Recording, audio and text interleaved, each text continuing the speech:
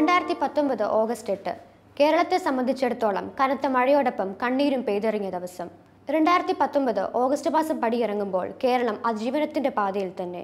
ഈ പ്രളയക്കെടുതിയിൽ ജീവനും സമ്പത്തും പണയപ്പെടുത്തി കർമ്മനിരതരായവർ ഒട്ടനവധിയാണ്. Linu Naushad Baiju V K Prashanth mayor എന്നിങ്ങനെ ആ പട്ടിക നീളും.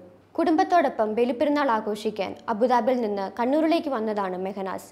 എന്നാൽ ആഘോഷങ്ങളല്ല ദുരിതഭൂമിയിൽ കർമ്മനിരതനാവുക എന്ന ദൗത്യമാണ് അള്ളാഹു തനിക്ക് നിയോഗിച്ചതെന്ന അറിവിൽ അദ്ദേഹം കാറുമെടുത്ത് രക്ഷാപ്രവർത്തനത്തിനായി പുത്തുമലയിലേക്ക് പോയി. അഗ്നിരക്ഷാ സേനയ്ക്കൊപ്പം അഹോരാത്രം പ്രവർത്തിച്ചു. എന്തായിരുന്നു പ്രചോദനമെന്ന് അന്വേഷിച്ചപ്പോൾ മറുപടി പോലുമില്ല.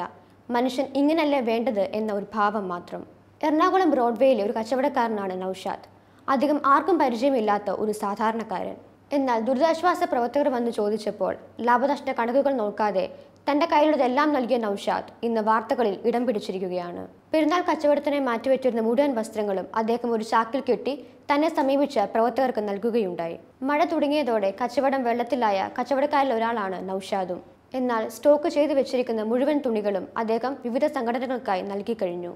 ഇത് അനവധി പേർക്ക് നന്മയുടെ ജീവിത പാഠവുമായി രക്ഷാപ്രവർത്തനത്തിനായി ജീവൻ തന്നെ ബലികഴിച്ച ഒരു വ്യക്തിയാണ് കോഴിക്കോട് സ്വദേശിയായ ലിനു. ഈ പ്രളയത്തിന്റെ കണ്ണീരോർമ്മയാണ് ലിനു എന്നാണ് കേരളത്തിന്റെ ധനമന്ത്രി ഡോക്ടർ തോമസ് ഐസക് ഫേസ്ബുക്കിൽ കുറിച്ചത്. മാതാപിതാക്കളെ ക്യാമ്പിൽ എത്തിച്ച ശേഷം വെള്ളപ്പൊക്കത്തിൽ അകപ്പെട്ടു പോയവരെ രക്ഷിക്കാൻ ഇറങ്ങിയതാണ് ലിനു.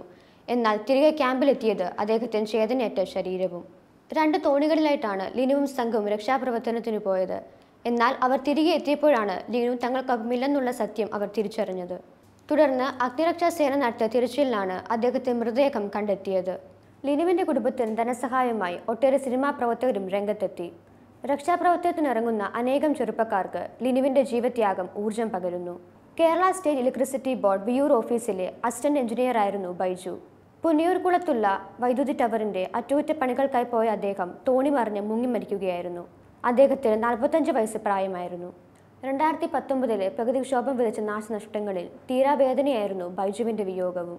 ഈ വർഷത്തെ പ്രളയം ഏറ്റവും കൂടുതൽ നാശം വിതച്ചത് വയനാട് നിലമ്പൂർ പ്രദേശങ്ങളിലാണ്. ദുരിതം അനുഭവിക്കുന്നവർക്ക് കൈത്താങ്ങായി കേരളത്തിന്റെ മേയർ ബ്രോ എന്നറിയപ്പെടുന്ന തിരുവനന്തപുരം മേയർ വി കെ പ്രശാന്തും ഉണ്ടായിരുന്നു. ദുരിതബാധിതരായ മനുഷ്യർക്ക് വേണ്ടിയുള്ള അവശ്യ വസ്തുക്കൾ മാത്രമല്ല കന്നുകാലികൾക്കും വേണ്ട ഭക്ഷണ സാധനങ്ങൾ അദ്ദേഹം സമാഹരിച്ചു നൽകുകയുണ്ടായി. ജീവിതത്തിന്റെ നാനാ തുറകളിൽ നിന്നുള്ളവർ തങ്ങളുടെ സംഭാവന പാളയത്തെ കോർപ്പറേഷൻ ഓഫീസിലെ കളക്ഷൻ പോയിന്റിൽ എത്തിച്ചു അക്ഷീണം പ്രവർത്തിക്കുന്ന ഒരു കൂട്ടം വോളണ്ടിയർമാരും അടങ്ങുന്നതായിരുന്നു മേയറിന്റെ പ്രവർത്തന സംഘം. ഇതുവരെ എൺപതോളം ലോഡുകൾ അദ്ദേഹം ദുരിത പ്രദേശങ്ങളിൽ എത്തിച്ചു കഴിഞ്ഞു. പ്രളയക്കെടുതി രൂക്ഷമായ സാഹചര്യത്തിൽ തെക്കൻ കേരളത്തിൽ നിന്നും വേണ്ടത്ര സഹായങ്ങൾ എത്തുന്നില്ല എന്ന പരാതി ഉയർന്നു വന്നിരുന്നു. എന്നാൽ ഈ അഭിപ്രായങ്ങളെ പൂർണമായി മായ്ച്ചു കളയുന്നതായിരുന്നു വി കെ പ്രശാന്തിന്റെ പ്രവർത്തനങ്ങൾ. രക്ഷാപ്രവർത്തനത്തിനിടെ ജീവൻ പൊലിഞ്ഞവരും മരണത്തോട് മല്ലിട്ട് ജയിച്ചവരും ഇനിയും എത്രയോ അധികം.